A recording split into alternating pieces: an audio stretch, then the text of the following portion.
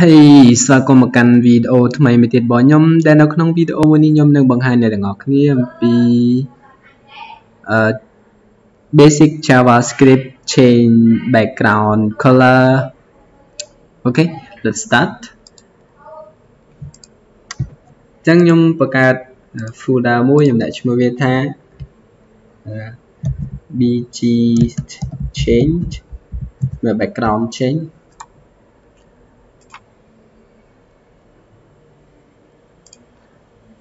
គេខ្ញុំបង្កើត index.html មួយហើយខ្ញុំបង្កើត cs មួយហើយនឹងឈ្មោះ file cs មួយហើយនឹង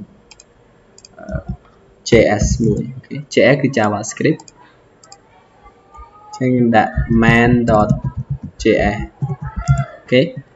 ចឹងខ្ញុំ generate html របស់យើង ចឹងខ្ញុំដាក់ថាអឺ background color ចឹងខ្ញុំ link CS របស់យើងចូលចឹង JavaScript ក៏យើងត្រូវ link ចូលដែរអញ្ចឹង JavaScript យើងអាច link បាន everywhere នៅក្នុង HTML ប៉ុន្តែយើង recommend on the top uh, on the bottom of the page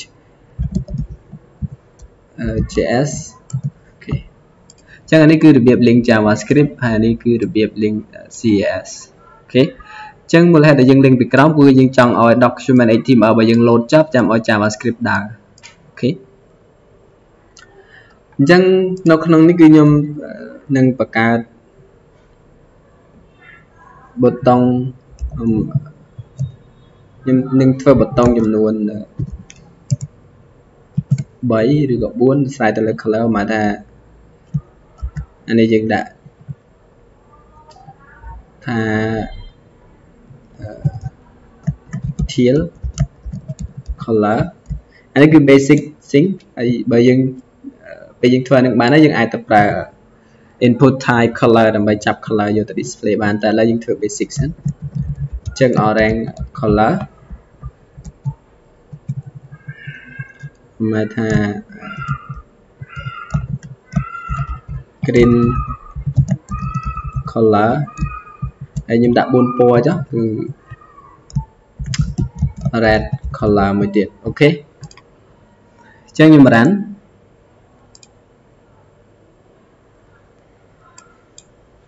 អញ្ចឹងខ្ញុំសូមពុះ screen វាជា2ទៅអូខេអញ្ចឹងអានេះគឺ HTML របស់យើង ហើយបើយើងចង់លេង style អីតិចទៅក៏យើងលេងទៅអញ្ចឹងខ្ញុំសុំលេង style បន្តិចដើម្បីយើងងាយមើលអញ្ចឹងខ្ញុំហៅប៊ូតុងទាំងអស់មកហើយអឺខ្ញុំប្រើ border none ហើយ padding 10 cursor pointer ហើយ border radius 40 pixel អូខេអញ្ចឹង color របស់វាគឺខ្ញុំនឹងដាក់ ID នៅលើនេះអញ្ចឹងខ្ញុំដាក់ថា teal teal btn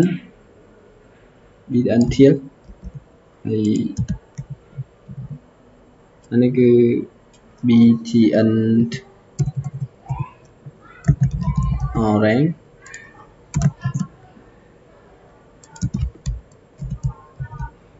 ហើយនេះ btn green ហើយចុងក្រោយគេគឺ btn red អូខេអញ្ចឹងអានឹងគឺ ID របស់វាអញ្ចឹងខ្ញុំនឹងចាប់ ID វាមួយមួយយកមក លេងពណ៌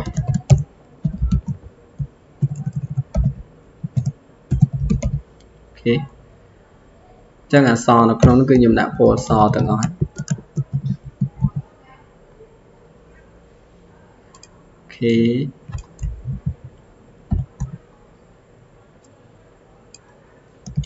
នេះទៅជា orange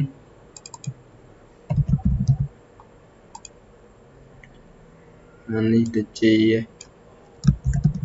green ហើយទៀតគឺ red អូខេអញ្ចឹងបើសិនខ្ញុំចុចទៅលើ orange គឺអញ្ចឹងយើងឃើញមាន outline អញ្ចឹងខ្ញុំបំបត្តិ outline អញ្ចឹងគឺ outline ហ្នឹងអញ្ចឹងយើងចុចទៅលេងចេញ outline អញ្ចឹង នៅពេលដែលខ្ញុំចុចទៅលើអឺ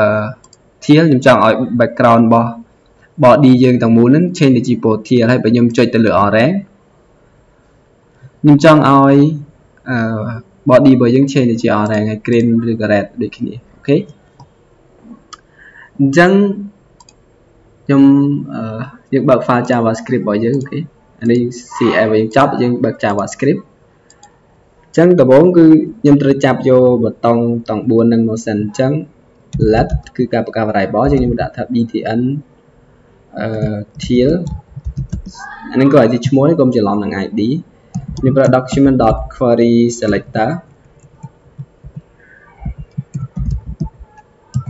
អញ្ចឹងកន្លែងនេះគឺ id របស់វាគឺ btn til អូខេ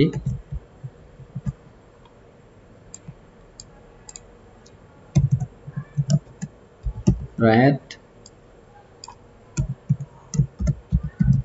blue oh sorry no blue green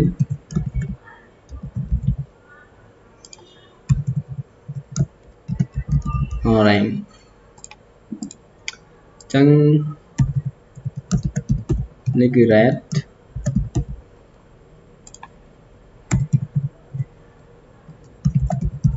green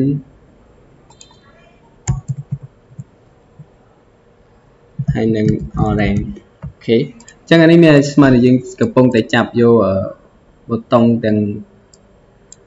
ប៊ូតុងទាំង4របស់វាឥឡូវយើងចាប់ប៊ូតុងទាំងអស់នឹងបានហើយអូខេអញ្ចឹងយើងធ្វើ on click ទៅលើប៊ូតុងហ្នឹងមកមកថាយើងចង់ដឹងថានៅពេលណាគេ click ទៅលើវាអញ្ចឹងខ្ញុំហៅ btn till dot add event listener មានអាហ្នឹងមានតែគេនៅពេលដែលយើងឲ្យគេវារងចាំ action របស់ user click អូខេអញ្ចឹងនៅពេលដែល user click យើងឲ្យវាទៅ call function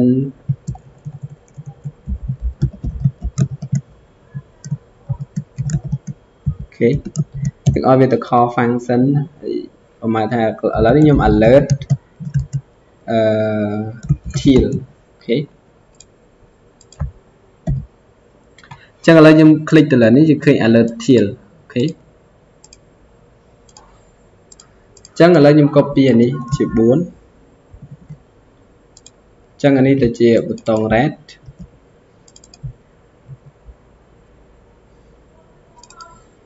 green ហើយនឹង orange ហើយខ្ញុំដូរពណ៌ទៅនឹងទៅជា red green ហើយនឹង orange អូខេហើយសាកคลิกមើលទៅអានេះ teal អានេះ orange អានេះ green អានេះគឺ red អូខេអញ្ចឹងឥឡូវយើងយើងចាប់វាបានទេចឹងនេះ basic basic JavaScript យើងធ្វើ simple ទេអញ្ចឹងឥឡូវបើយើងដឹងថាយើងចុចលើប៊ូតុងនឹងវាដើរអញ្ចឹង ឥឡូវយើងចាប់ផ្ដើម apply ទៅលើវាអញ្ចឹងអឺខ្ញុំហៅ body. ទៅទៅជាមួយនឹង cs style យើងហៅ body. style. cs មកប្រហែលថាកន្លែងនេះខ្ញុំដាក់ til what happened ចឹងនៅពេលដែលខ្ញុំ click លើ til យើងទៅមើល error កន្លែងនេះគឺវា body not defined កន្លែងនេះយើងអាចប្រើ document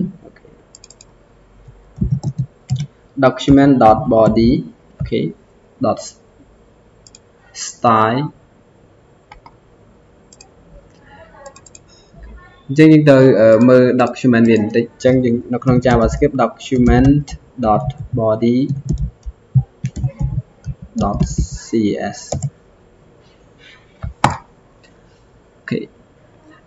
អញ្ចឹងកន្លែងនេះទាក់ទងជាមួយនឹងការ play style នៅក្នុង JavaScript អញ្ចឹងកន្លែងនេះគឺវាប្រើ background អូខេអញ្ចឹងបើយើងប្រើ CSS គឺជា function ទេអញ្ចឹងកន្លែងនេះដាក់ background អញ្ចឹងពេលខ្ញុំចុចអានេះឃើញ change ទៅជាពណ៌ teal អូខេហើយកន្លែងនេះយើងនឹង change ទៅ orange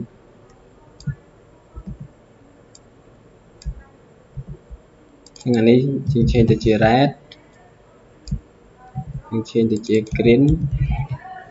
អានេះគឺជាឈ្មោះ color បើមិនយើងដាក់លេខក៏បានដែរប៉ុន្តែ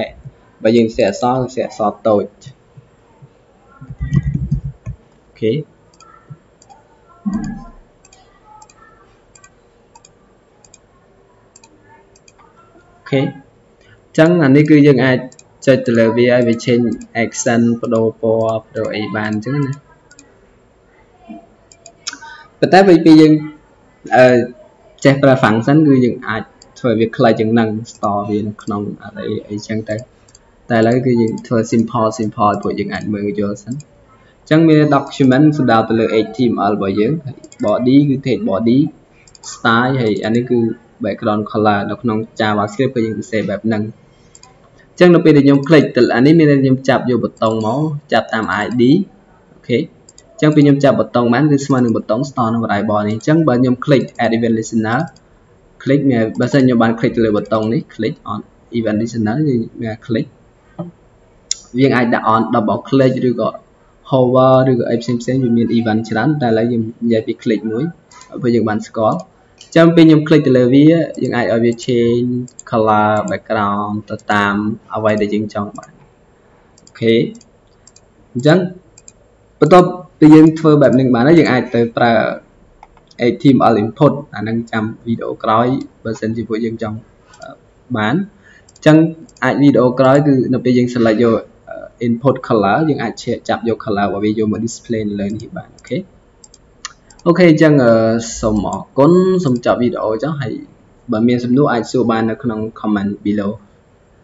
bye bye